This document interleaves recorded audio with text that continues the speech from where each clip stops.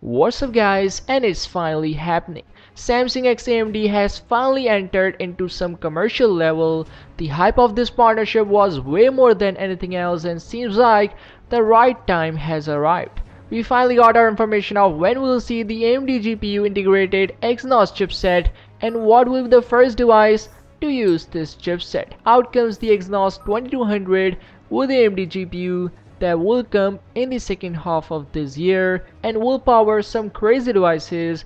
According to a report coming straight from South Korea, Samsung could be bringing the Exynos 2200 chipset with AMD GPU in Samsung's laptops. In case you don't know, Qualcomm has leveraged symbols and brandings in a lot of Samsung products. It's not just smartphones.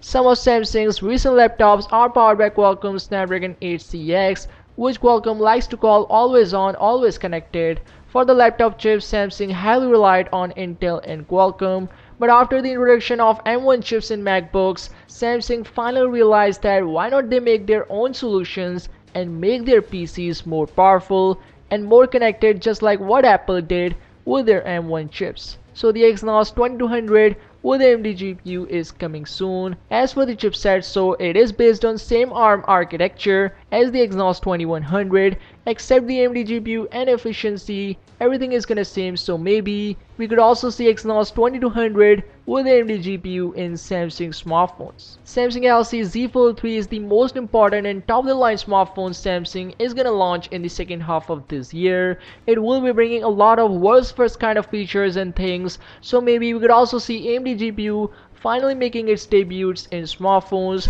with the Galaxy Z Fold 3. But yeah, for now it's not confirmed but what is confirmed is that Samsung X AMD finally entered into some commercial level and the first device to rock this chipset would be the Samsung laptop. And by the way, it is expected that first device with under display camera would be the laptop not smartphone. Samsung has showcased this kind of project so maybe we could see both of these two things debuting in a same device who knows.